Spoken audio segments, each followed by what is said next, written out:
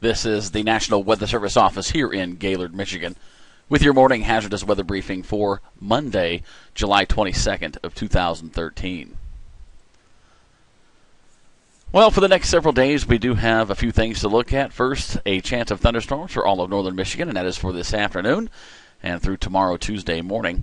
Now, with these particular thunderstorms, there is a low chance for severe weather. The primary threats being damaging winds and quarter sized hail. Next, we have rip current threats for Tuesday, and that's for the beaches in Lake Michigan of northwest lower Michigan. And there will be a high swim risk for any rip currents across these beaches. And then finally, another possible chance for thunderstorms for all of northern Michigan. That'll be for Thursday night through Saturday, with the impacts yet to be determined. Looking at the current weather map, we do have high pressure across New England. With low pressure working into Ontario, there is a warm front that is stretched out from this low pressure that is now pushing into the western Great Lakes region. Following closely is a cold front that is crossing the Dakotas.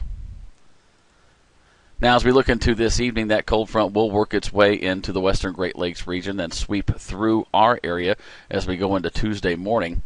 And this is going to be the low chance for severe weather with this particular cold front and associated storms. Back behind this cold front, we do have high pressure, and that is going to settle into the Great Lakes region for Wednesday. Then we're going to jump all the way ahead to Friday with the next area of low pressure moving through Ontario and associated cold front that moves through Friday afternoon and night. And then by Saturday morning, we do see that that cold front clears northern Michigan, and high pressure will once again build into the region back behind that cold front. Now, here's the day one severe weather outlook for today and tonight. Now, we're not really in the shaded area that denotes a slight chance of severe weather, but however, there, there could be a few of the storms that do get severe across northern Michigan, although it is a very low chance.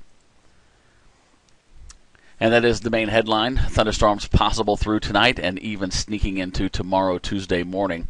We see here that temperatures for today will be relatively mild in the upper 70s to the lower 80s. And wrapping up the hazards outlook all the way through next Sunday, the thunderstorm possibilities for much of the area really starting mid to late morning today and continuing through early evening. The severe storms there are unlikely, but there is a better chance for the thunderstorms with the cold front for late this evening and into the overnight hours. Now, these are the storms. A few of them could be severe, the biggest threats being damaging winds and quarter size hail. We also have the additional thunderstorm chance that occurs late this work week and into Saturday. With those details or impacts of thunderstorms yet to be determined, we also have the swim risk with the rip current possibilities for tomorrow, Tuesday, across Lake Michigan in those northwest lower Michigan beaches. And that'll wrap up this hazardous weather briefing. Please come back for our next scheduled broadcast at around 5 o'clock this afternoon.